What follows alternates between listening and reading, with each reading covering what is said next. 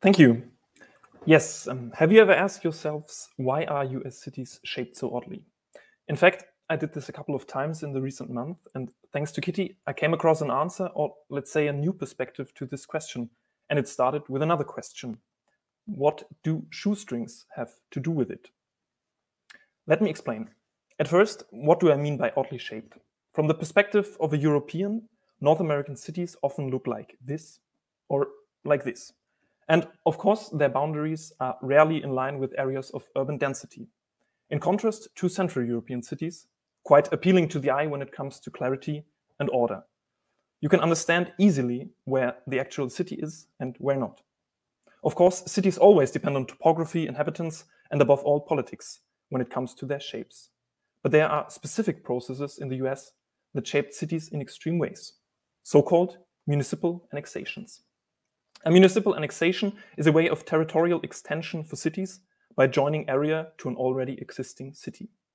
The reason for that vary from increasing tax revenues or organization of better civil services to political influence. It's a highly controversial topic, especially when it comes to involuntary annexations. Laws about this procedure differ from state to state, but most of the time they have something in common. Frank Sengstock explains it as follows. To prevent the creation of a divided city, annexation statutes often have been drafted so that only contiguous or adjacent territory can be annexed. These terms have proven themselves a fruitful source of litigation, and indeed, the term contiguous has taken on strange features. The shoestrings annexations, for example.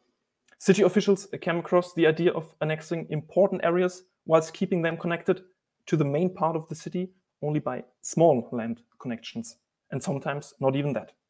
Let's take a look on a few examples.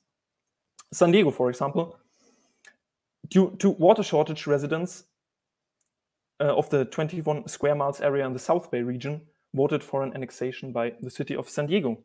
To make this possible without crossing the boundaries of two neighboring towns in between, a narrow strip of land through the bay was annexed too. And a quite familiar city for some of you, Santa Barbara, in the 1940s, the construction of an airport began at the coast close to Goleta, and the airport became a lucrative source of revenue, later acclaimed by the city of Santa Barbara. Because the airport could, couldn't be connected by a corridor along the mountains, a strip right through the sea was chosen as a connection. In order not to infringe on existing mineral rights, only the ocean floor and the water above the ground were annexed. The legality is still disputed.